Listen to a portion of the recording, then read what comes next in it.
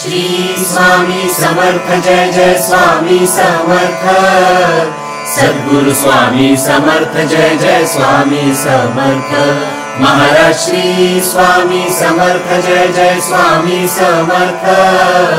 सद्गुरु स्वामी समर्थ जय जय स्वामी समर्थ। जिथे स्वामी पाय तिथे न्यून काय स्वये भक्त प्रारब्ध घडवी हि माय ओम स्वामी समर्थ साधना केंद्र प्रस्तुत. साधक स्वामींचा.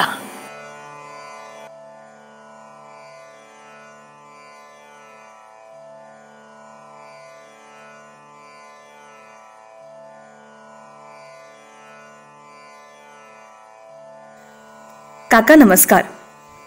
काका कोजागिरी पौर्णिमेचा अधिकाधिक लाभ कसा घेता येईल?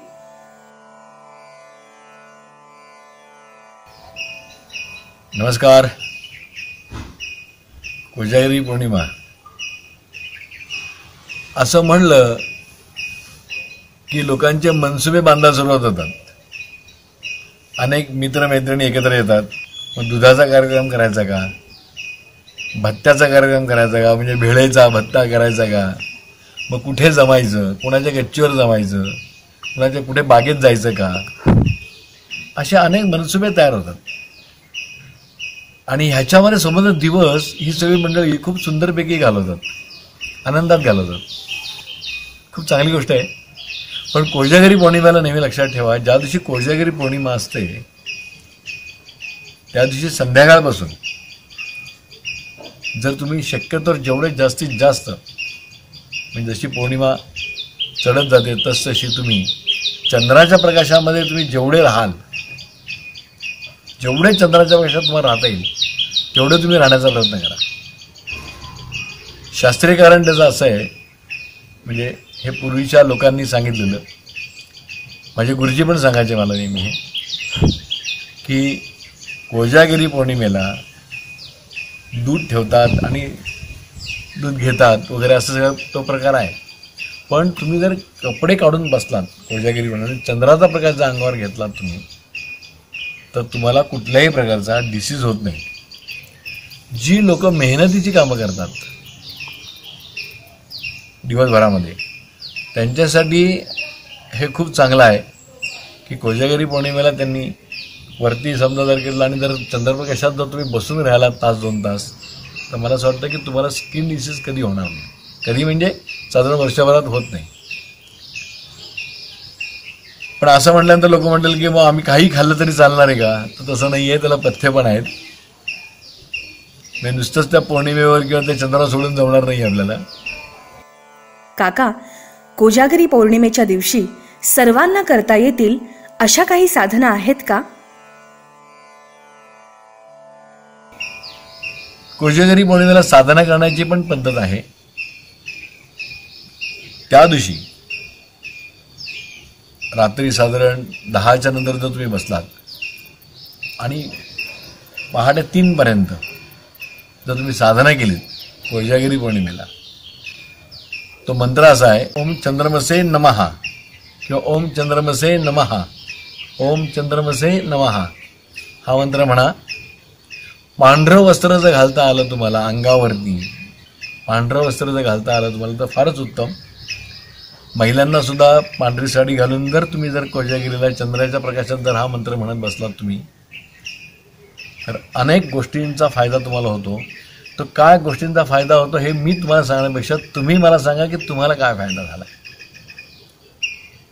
सगळ्यात महत्त्वाचं की अनुभव येणं फार महत्त्वाचं आहे. हे तुम्ही करून बघा. पण दिवसभरात झोपू मात्र नका. कोजागिरी पौर्णिमेच्या ह्या समोर दिवसामध्ये झोप नका काढू. तुम्ही कुठेतरी बिझी राहा काहीतरी करत राहा. पण शक्य तर झोपू नका. हे कोजागिरीला सगळ्यात जास्त चंद्राचा जसा तुम्हाला मी मंत्र सांगितला तसाच तो मंत्र विष्णूचा सुद्धा तुम्ही करायला हरकत नाही. ओम विष्णवे नमहा ओम विष्णवे नमहा ओम विष्णवे नमहा हा मंत्र म्हणा खडीसागराचं नैवेद्य दाखवा. तुळशीची पानांचा कुस्करा त्यात करा आणि तो प्रसाद म्हणून सगळ्यांना द्या.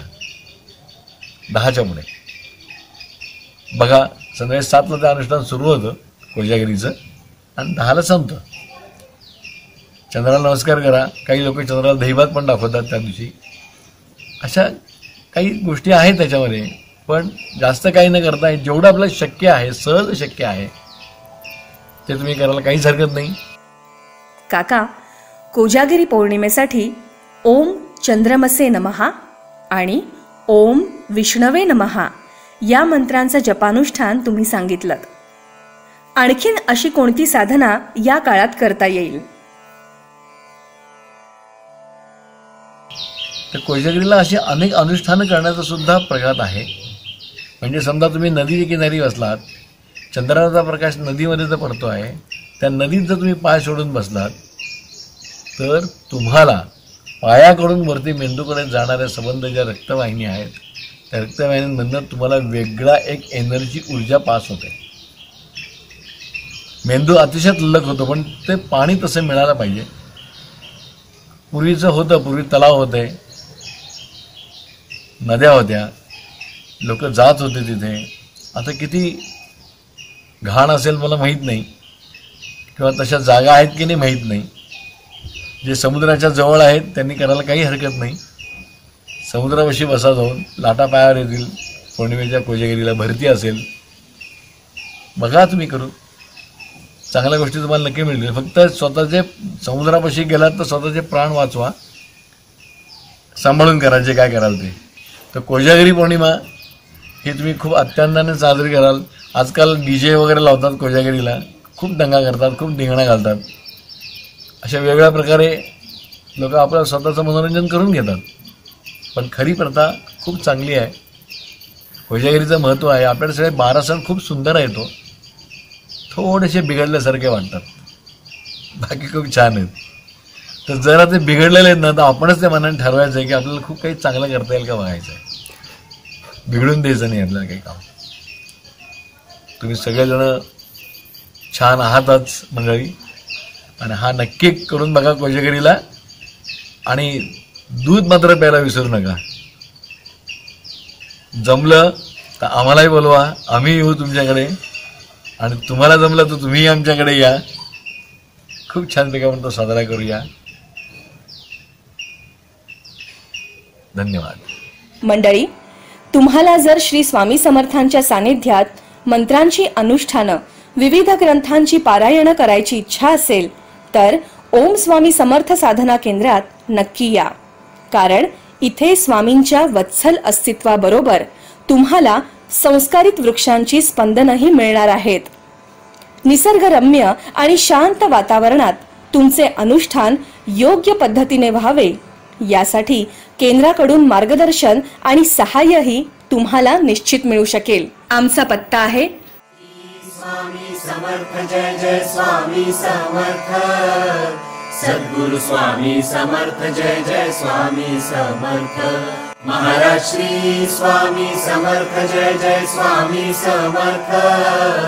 सद्गुरु स्वामी समर्थ जय जय तर मंडळी भेटूया पुढल्या गुरुवारी पूज्य जोशी काकांसोबत. स्वामी ओम.